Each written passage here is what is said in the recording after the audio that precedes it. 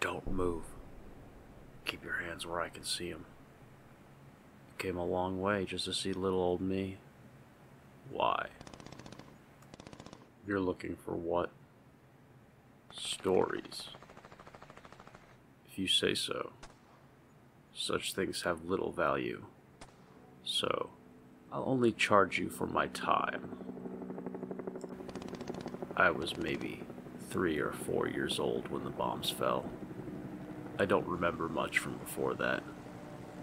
But I remember the smiles. Smiles that faded like the sun behind a cloud of ash.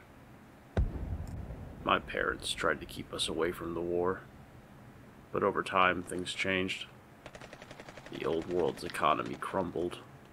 The European government, or whatever's left of it, stopped maintaining the electrical grids and water pipes. Resources became scarce. A lot of people enlisted just to put food on the table. None of them ever came back. I thought I recognized a European soldier once. A kid I had grown up with. He looked straight through me, like I didn't even exist. I wanted to say his name, but I couldn't remember it. And I think that if I had, he would have killed me for knowing who he was. Eventually, people figured out that enlisting is little better than death. You might get to keep breathing for a few more weeks, but you don't bring your humanity back with you from the battlefield. Over time, there were fewer and fewer opportunities to put food on the table unrelated to the war.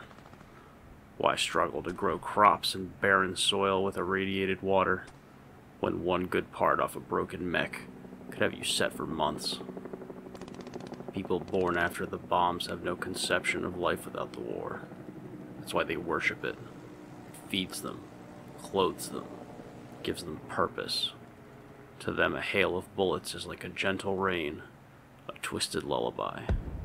And if a stray bullet finds its way through the cracks, well, then one lucky bastard might get to leave the war early. What was that? Did you hear that? We've been here too long. Something is coming.